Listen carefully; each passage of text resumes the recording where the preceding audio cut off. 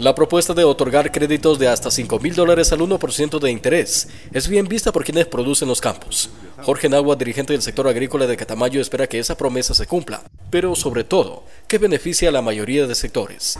Pero esos son ofrecimientos, ahora esperemos que lleguen, porque siempre en campaña nos ofrecen una cosa y cuando están en el poder ya es otra cosa.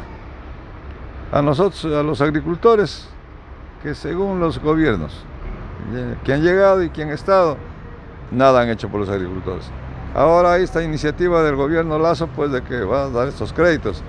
Ahora esperemos que lleguen, a pesar de que yo creo que no nos ha de llegar a todos. Considera necesario el apoyo, pero insisten que los créditos deberían abarcar principalmente sectores como el de la agricultura, que genera dinamismo económico. Aquí en nuestro país, pero esperemos que algo se haga. En esta vez no nos, no nos engañen como siempre los han engañado. Que dicen, sí, el rato de la hora, no, hay es nada. El Ministerio de Agricultura, los de los otros señores vienen por aquí, andan, caminan, dejan unos papeles y se van. No se los ve más. Estamos con el que menos reclamamos, ¿cómo está ahora 53 dólares la uria? Si estaba a 18 dólares y a 20 dólares, ahora está a 53 dólares. No se controla eso. ¿Quién nos dice alguna cosa por qué se subió?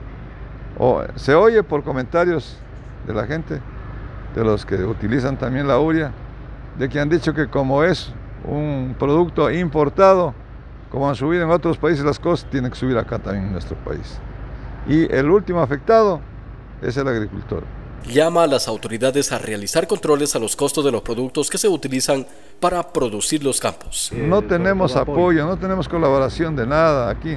Vivimos entre nosotros aquí indicándonos qué es lo que es bueno para, este, para esta planta, qué es lo pero entre agricultores, porque los señores del Ministerio de Agricultura brillan por su ausencia.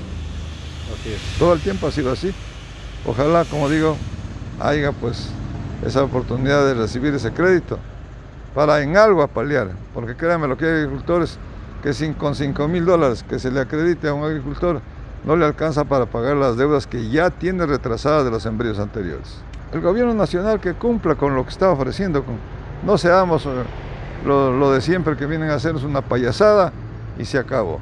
Nos tienen siempre el gobierno nacional, los gobiernos seccionales, el Ministerio de Agricultura, pues, como ya le vuelvo a repetir, discúlpeme, brillan por su ausencia, llegan, se alborotan cuando llegan con las personas que tienen sus compromisos, eh, que venden los insumos, ellos llegan, a veces hablan lo que no van a hacer, dicen esto vamos a hacer, el rato de la hora no llega nada a, ningún agricultor, entiendo yo, aquí en la provincia de Loja al de menos, aquí somos los más olvidados del país.